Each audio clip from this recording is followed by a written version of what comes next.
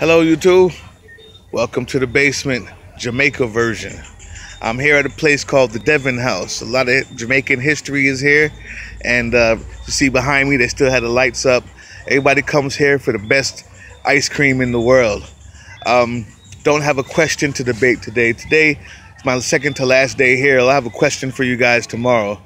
But I just wanted to put out some names of dancehall artists that I've really been enjoying while I was down here. Vybz Kartel, the pretty much the number one in Jamaica, probably the number one uh, dance hall artist in the world right now. Of course, has to come from Jamaica, right? Uh, next one is Alkaline. He's a guy that we talked about. We're going to question um, how much auto tune is being used and how much American influence is. But he's one of the ones that does that. But I like his music. The boy is nice. There's another dude named Chronixx, and he he does a lot of singing.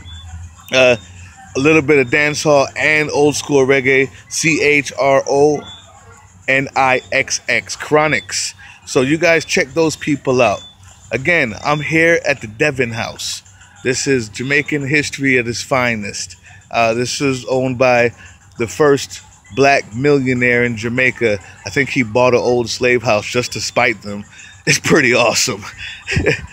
but uh, I'm here at Jamaica doing the basement in front of a really lit tree. I thought you guys might like that.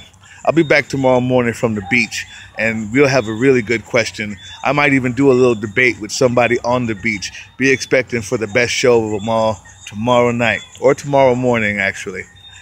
Until then, I'm out the basement.